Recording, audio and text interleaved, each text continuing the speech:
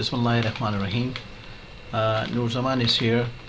We are going to uh, discuss about fragments, Android fragments, that what are the actually fragment, why we use it. Those fragment concept was not available with the Android previously. It this concept coming after the Android 3.0. Uh, fragment you can consider fragment just like an activity. It is a sort of activity within activity. So we can say that the fragment are actually the sub activities are the mini activities and one activity or the one fragment can be active at one time or at the next time. Uh, fragments means as we discussed that there are the kind of the mini activities and those kind of the activities may be more than two or two or more than two. We're going to discuss about this basic example and just to see that how we can uh, make the two different screens are the sub activities within our one main, main activity.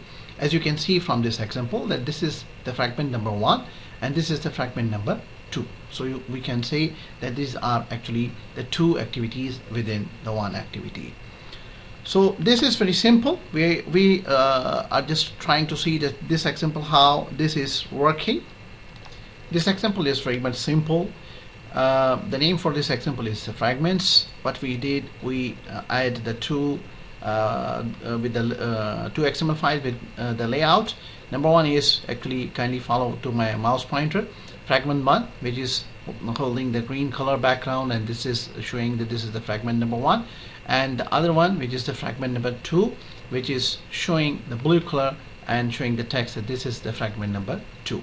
And with the main.xml but we are trying we are trying to separate our main activity into the tool. You can see from here that this is our fragment number one uh, uh, fragment number one and the other one is actually that the fragment number two and here with the layout weight what we are trying to do we put the weight one here and weight one here. This weight is actually defining us giving us that the uh, the weightage for both of the fragments will be equal. So means 50% screen size will go for the fragment number one and the 50% size of the screen will go to the fragment number two once we will see uh, about our uh, fragment number fragment 1 and fragment 2 java files and then we will come back to uh, apply the changes to change from this value from 1 to different and again to change this value uh, from 1 to make it different and then we will see that what kind of effect is actually coming to our uh, app. So now we are moving to our fragment number 1 this is our fragment number 1 file you just see this is a very simple. We are not doing anything while we are just using here the concept about the inflator. Inflator is actually a concept which is what we are uh, trying to use why we are trying to use with uh, our with the help uh, with the help of the inflator what we are uh, if we just uh, define it in a, a, very basic way. So we can say that if you want to add the views pro programmatically you can inflate the XML file layout files actually. Uh, inflating a view means converting a view from the XML into a view object. Or we can say that with the help of this inflator we are trying to uh, separate our screens. Rest is nothing.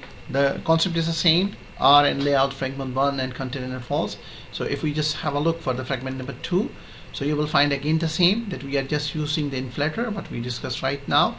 And then again the uh, R and layout and the container because we are not doing anything we are just trying to uh, uh, create the two different screens the two uh, mini activities within our main activity.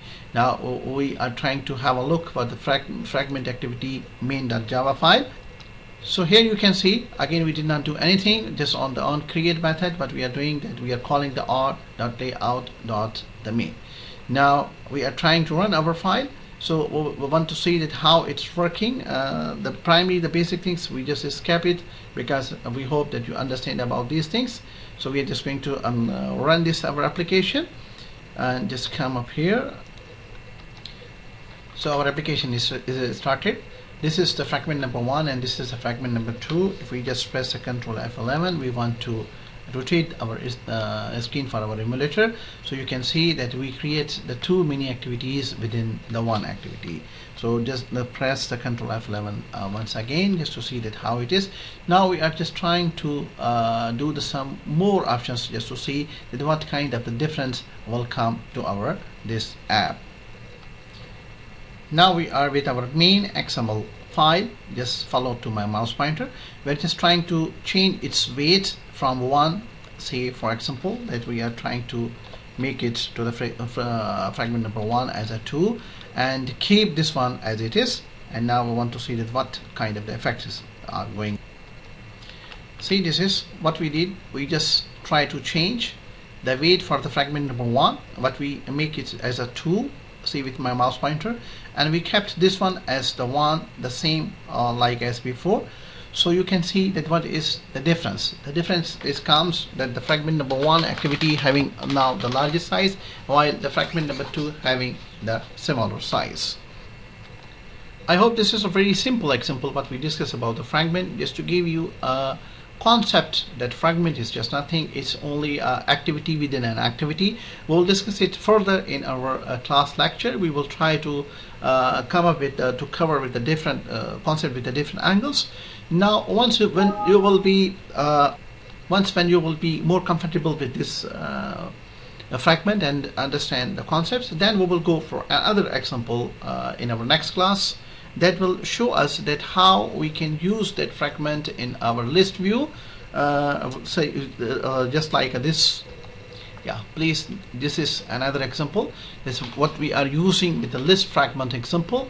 So here are in, in the format of the list we are using the name of the different cities and the countries like Mecca, Medina, Riyadh, Al-Ahsa and Mecca, Medina, Riyadh, Al-Ahsa and Dammam and Al-Khobar so suppose for example you just click to any one uh, city Dammam so it's showing that you have selected the Dammam you are selecting to Al-Khobar you have selected Al-Khobar and if you're selecting the Riyadh so it's showing you that you have selected the Riyadh.